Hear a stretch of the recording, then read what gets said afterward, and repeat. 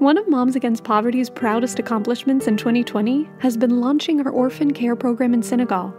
There are over 500,000 orphans in Senegal, many of whom live on the street and are desperately in need of homes. We partnered with the House of Smiles Orphanage, located in the small village of Mbodiene, to provide food, water, and hygiene supplies. Of the 24 children cared for this year, 16 lost their mothers during childbirth. Three were from a mother declared mentally unfit and without a father. Three were from young mothers who had unplanned pregnancies in wedlock. Two were abandoned by a parent.